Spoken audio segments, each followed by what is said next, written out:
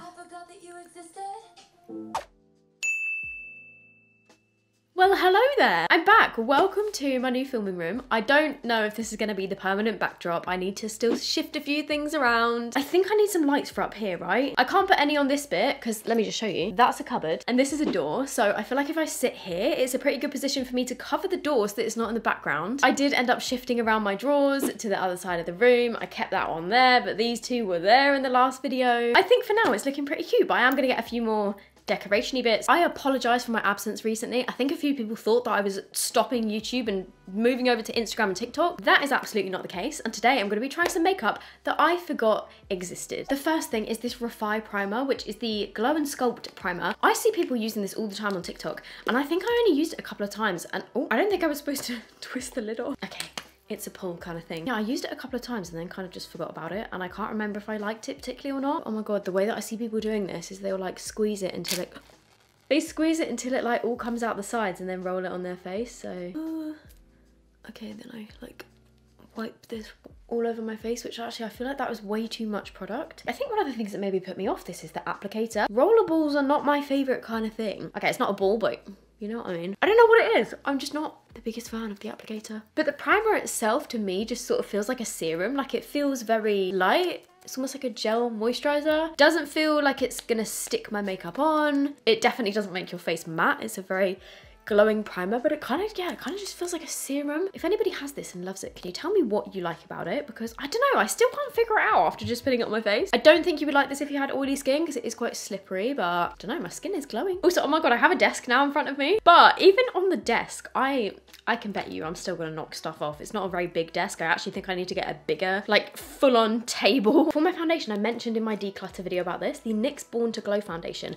And you know what? The reason why I stopped using this and stop talking about it. it is because somebody told me at some point that this was discontinued. I don't know why they did that because I don't think it was discontinued. This is the shade Vanilla and I don't have Fake Tan on at the moment, so let's see what I think of it. I think I would like this even more now because of my foundation preferences have changed. The Born to Glow concealer was also really nice. So far, this is looking really nice. It's light coverage, I would say. I'm just gonna see if it's buildable. Let's put on a little bit more. Oh my God, imagine I post this and then go to check and it has been discontinued.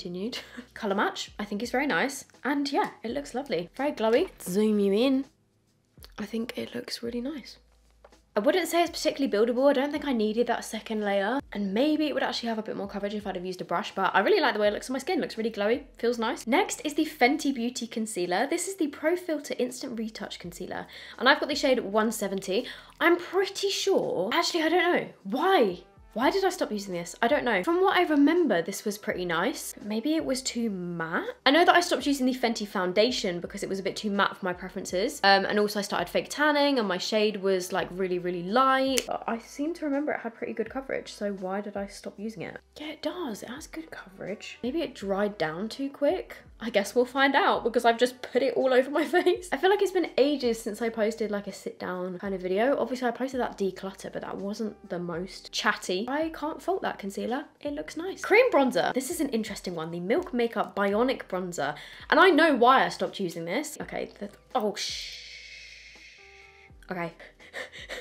That did not go on my joggers. Thank God that was so close because a bunch of oil just like spill out onto me. Um, that was one reason. If you don't use it for a while, you kind of have to remix it in the tube, which I'm not a big fan of at all. What an odd packaging for a cream bronzer. I think I don't particularly like stuff that makes a mess. Like you have to squeeze this onto the back of your, your hand. Okay, why is it dripping oil on me? The thing is, I was using this for a while on the regular, not on camera. It was really nice. But then when you sort of like leave it to sit for more than a couple of days, it sort of separates into this oily texture. I want to get past that stage of the oil. Okay, there we go. We're getting some actual product out now. And then you sort of dip your brush in it like that. And then from what I can remember, let's just put some on my face. Oh, it's gone really strange into my brush. Okay, the way that it's gone into my brush is really patchy, I guess because it was a bit patchy on my hand. But yeah, from what I can remember, it was actually a nice product, but that whole oiliness and the separating thing is frustrating, but it just doesn't make it very user-friendly, unfortunately, which is a shame because it blends really nicely. It's got a really nice, radiant,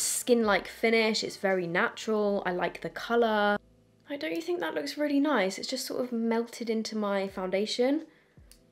Some on my nose. And I think it's a really nice colour as well because it's a bronzer, but it's not too orange. It is just a shame that it's kind of tricky to use because it just like it's melted really nicely into my foundation. What shame. Actually, I know that Milk do a stick form of a bronzer. Does anybody know if that one's any good? Has anybody tried that? Maybe I should give that a go because I might like that more. For my cream blush, this is one from Kiko. It's the Velvet Touch, Velvet Touch, the Velvet Touch Creamy Blush Stick in the shade 05. Wait, is this the kind of product you need to warm up first? Oh wait, no, it actually feels really creamy. Let's just go straight on my face. I truly think that Kiko is one of the most underrated brands in the UK. I know that it's very popular in Europe. I don't know, I think a lot of people don't even think to go in there or they don't even think about Kiko because it's not sold in like our main makeup stores. But they do some really nice stuff. And yeah, I completely forgot about that blush, but that is so nice. That is my perfect kind of peachy pink colour, very summery. Then to add a bit of extra glow, this is something that I found the other day in my collection, again, when I was sorting out, the Made by Mitchell Champagne Spray Highlighter. If you know Made by Mitchell, the blushes are all like multi-use products and this one specifically I think is supposed to be like a, liquid highlighter. And you know what I did the other day? I mixed this in with a cream blush or like a liquid blush and it turned out really nicely. So Ooh. It's actually really nice, but I prefer it. Oh wait, hang on, I've just realised that this is a dark highlighter and I don't have tan on, so that now looks a little bit crazy. I prefer this when I mix it in with a liquid blush, especially if you mix this with any of the Made by Mitchell matte blushes. It worked really nicely to make them into a glowy blush. Definitely more of a tan shade, but it does give a really nice glow. I like it. Also, oh my god, guys, how random is this? I had a message from Feastables, as in like Mr. Beast's chocolate brand. I have got no idea how they found me. I didn't follow them on Instagram. I follow Mr. Beast, but how the hell did Feastables find my Instagram account? I really have no idea. But they asked if I would like to um, receive some chocolate to try it. And I was like, yeah, Go on then. Because apparently they sell these in Asda now, but this is my favourite one. It's alright, you know, for American chocolate. I definitely mentioned this in the declutter, the Rare Beauty Loose Powder. Also, they were ahead of the game with the whole pink powder thing. Packaging is beautiful. I think I stopped using this because when I was filming with it, by the time I'd got to the end of my... Oh my god, it's flying around the room. Sorry about that. By the time I'd got to the end of filming, my skin was already oily again um, after like two hours of wearing it. So I think that's why I stopped. Do my thing where I look insane, take some on my powder puff, and then just press that all under my eyes. Oh wow, it's quite a light powder. Mmm, it feels super dry under my eyes. I'm not sure how, uh, ooh, I hate that feeling. Wait a sec, I've just realised that my spotlights are on. That is not helpful. I just tripped over my bin. Can you see what I mean? Like, it's very, it feels very, very dry, which is really odd. Mm, let's just set my eyelids as well. And obviously I'm going to do the rest of my face. But that is a real shame. I kind of couldn't remember why I hadn't used it again. But maybe that was why. Maybe it's just the powder puff application. Because on the rest of my face, it's kind of just melting in. This is very random, but I'm just putting on a bit of lip gloss because my lips are really dry.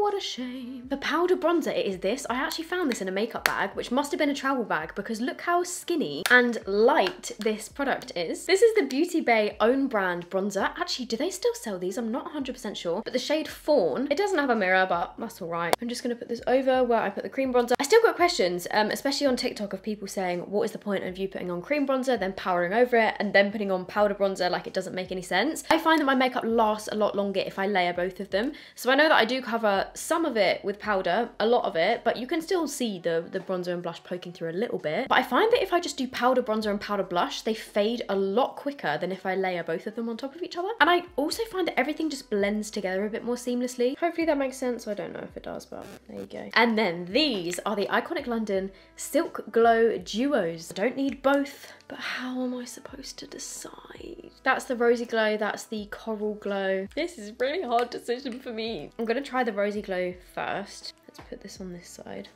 This one is giving like bridal beauty. Do you know what I mean? Oh, that is really lovely. And then this one. Watch me keep both of them They're both just different vibes. This one's more like summery holiday. Actually, on my face, they don't look that different.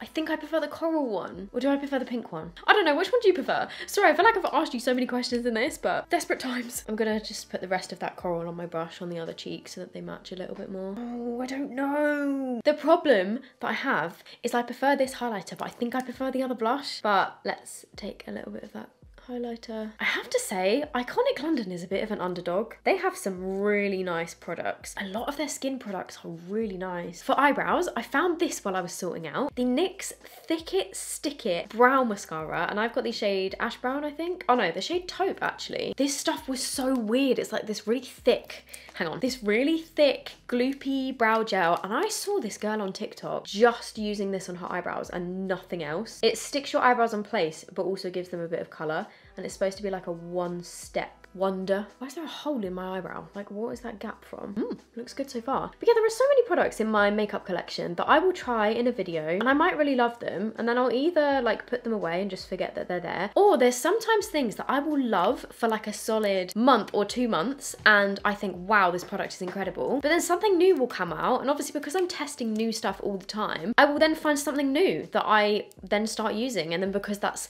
the most recent thing, I'm using that instead. But it doesn't mean that I don't like the products that I loved and used for like a few months. It's just that I kind of forget about them, which is really bad, isn't it? But I guess in a way, like that's the nature of my job. I am pretty much, my job title is like makeup makeup tester, makeup reviewer. So because I am testing so much, that's bound to happen, but doesn't mean that I don't like these products. It's just that I forget that they exist. Oh yeah, this is the Kylie Kybrow Pencil in Cool Brown. Again, really liked it when I first used it. Put it away, forgot all about it. I think the main thing that I didn't like about that NYX product is that the brush is quite big, so it's a little bit messy. I really like how fluffy my eyebrows are looking. Oh shit, supposed to be zooming with my family. I'll be right back. I had a quick little intermission while I spoke to my family for the past hour. My face has definitely started to get oily in the past like hour and a half that I've had this on my face. We're starting to like crease a little bit under my eyes. I'm kind of loving how my skin is looking, but I'm just gonna put a tiny bit more powder here.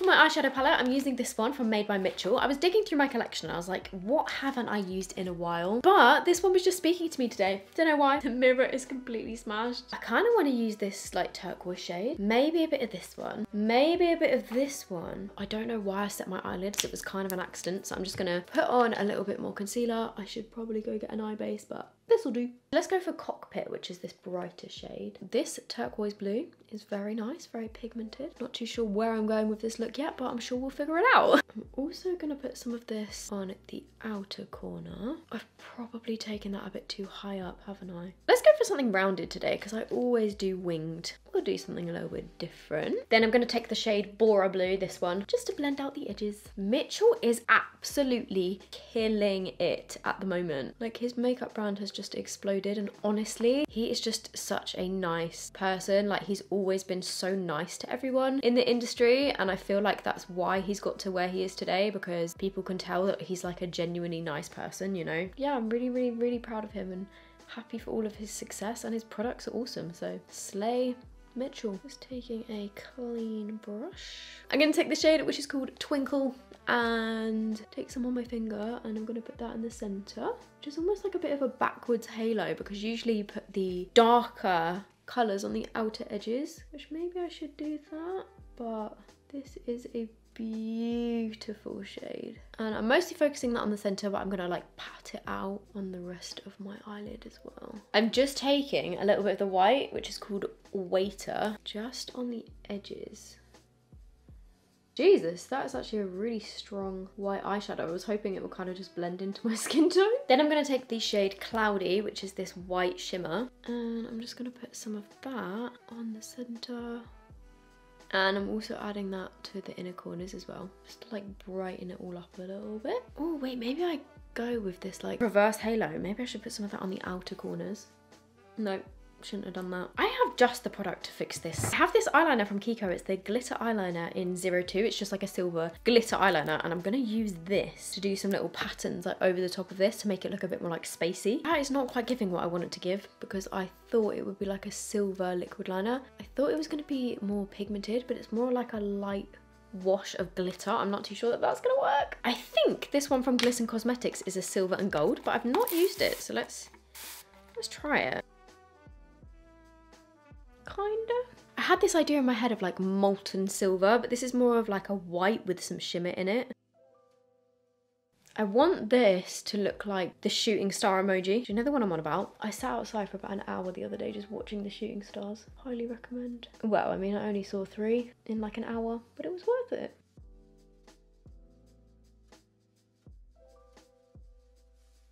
I need to switch brushes because this one is a bit big. I definitely need a shorter brush than this. Oh man, this is so fiddly. Usually I'm a huge fan of Glisten Cosmetics eyeliners, but this one in particular, it's not as pigmented and I feel like it's cracking a little more than usual. I'm gonna go over that with the Kiko Silver Glitter. Actually, I don't know if this is gonna make it worse.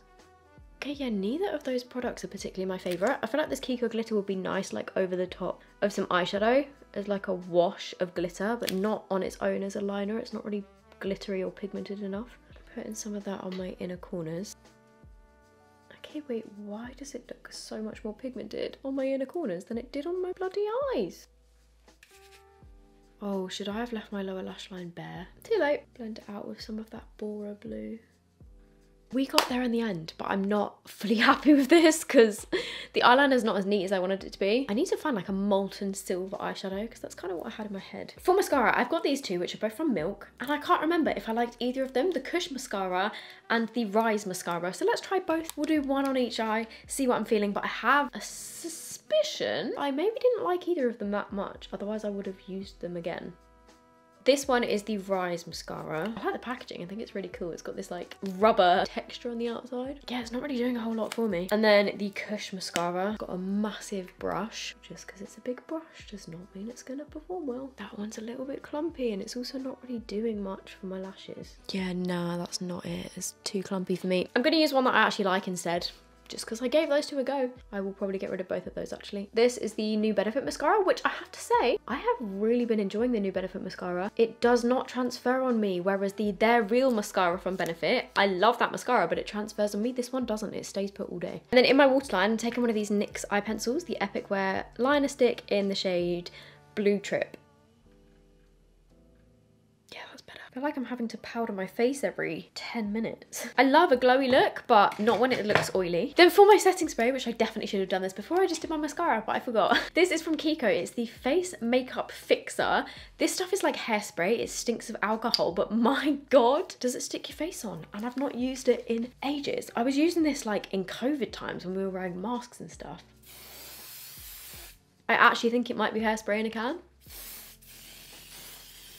Oh my god, ow, it went in my eye. Alcohol, alcohol, alcohol. I'm convinced that would actually work as hairspray, but oh my god, ABBA who? I'm ready to go to ABBA Voyage. Pretty cool, but not quite, quite what I was going for, but it will do. We're nearly done, guys. For my lips, I've got these from Refy, which I forgot completely about, and I've got the shades Fawn, Taupe, and Rosewood. I think I need a more like brownie nude with this look. It's gonna be Taupe. Go for Taupe.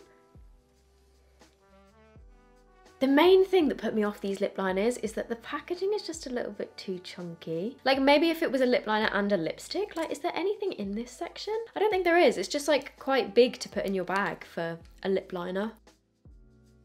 And then for my lipstick, I'm using this one from Fenty Beauty, the refillable lipstick. Again, I think the thing that puts me off this, which I love that it's refillable, but the packaging is so chunky, like it doesn't even fit in my lipstick organizers. It's really big if you wanna like put it in your handbag or something. So it's always just like in a different section of my makeup, so I just forget that I've got them. But this, oh, that's the only thing. How do you tell which shade it is? Like once it's in there, I've got no idea how to tell. I'll try and find out. Mm, it does smell like the lip glosses. Oh, is that a bit too pink? Formula feels really nice, but my lips are actually really dry today. I need some gloss. Does anyone remember this? The Kathleen Lights and Colourpop Moonchild lip gloss. Hmm. And there we go, that is my finished face. You know what, there's a few things in here that I've definitely rediscovered and will be reusing, but the things that I will be decluttering from this video are both the mascaras, unfortunately. Oh, and the Rare Beauty powder, which is such a shame. But the rest of the stuff I will continue to use. I hope you guys enjoyed this video. Thank you for being patient with me with the whole reorganization of this room, but I think it's looking pretty cool. Like, I'm happy with the background. Um, I might switch out the different signs maybe it's time to get some new ones. I've seen one on amazon that are these like red lips which i thought might be pretty cool like to put here and on top of my lipstick cabinet. However do you think red would be too distracting? Let me know. This is the finished look. I hope you guys are doing really good and i will see you shortly for my next video. Bye